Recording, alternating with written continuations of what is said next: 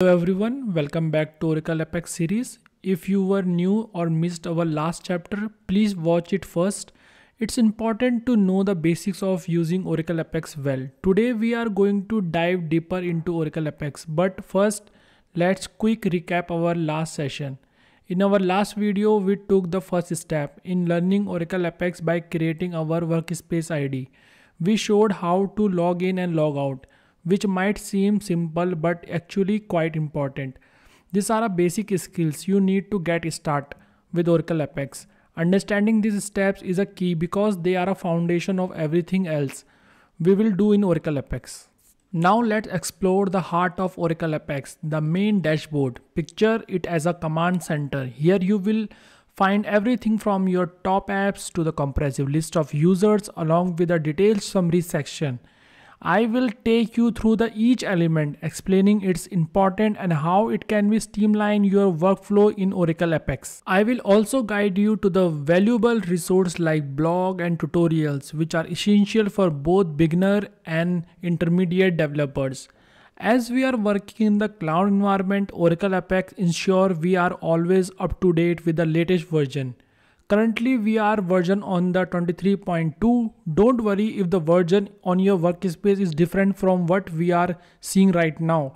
I will explain how Oracle Apex Cloud Setup automatically update your workspace, ensuring you always have the access to the latest tool and features. Speaking to the version 23.2, let's talk about what this latest version bring to the table. Oracle Apex is continuously evolving and with each update it offers new and improved feature.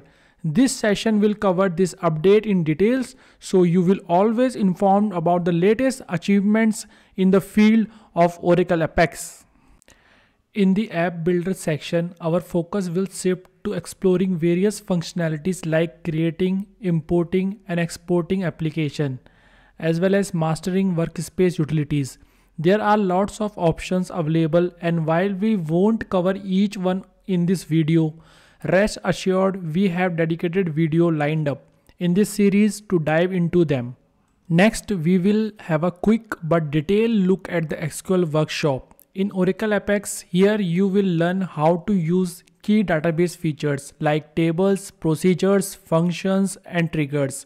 I will show you how to see these parts and write simple queries, making it easy for beginners. And don't worry, we have more detailed video coming up in this series to cover this topic in depth as well. Then we will take a quick look at, at the update team development feature in Oracle Apex.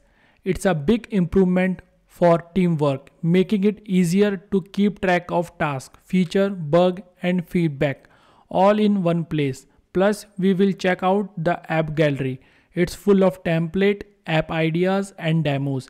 These are a great resource whether you are just starting out or already have some experience. Thank you for joining the intro to Oracle Apex. Now the excitement begins. We will create our own app right from scratch.